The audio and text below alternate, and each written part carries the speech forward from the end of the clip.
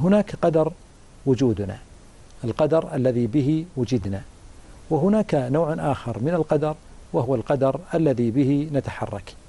القدر الذي به وجودنا قدر كامل لا توجد فيه آلام لا يوجد فيه أي شيء ناقص. قال عز وجل الذي أحسن كل شيء خلقه. فالله واضح معنا. الذي أحسن كل شيء خلقه وبدأ خلق الإنسان من طين.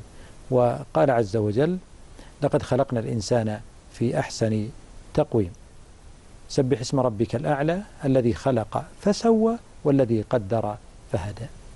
أما النوع الثاني من القدر وهو القدر الذي نتحرك به هو عبارة عن اختياراتنا واختياراتنا قد تكون خاطئة وقد تكون صائبة. ولكل اختيار سوف نجد عاقبة ذلك الاختيار. فمن يعمل مثقال ذرة خيرا يره ومن يعمل مثقال ذرة شرا يره ليس هذا حصريا يوم القيامة. حتى في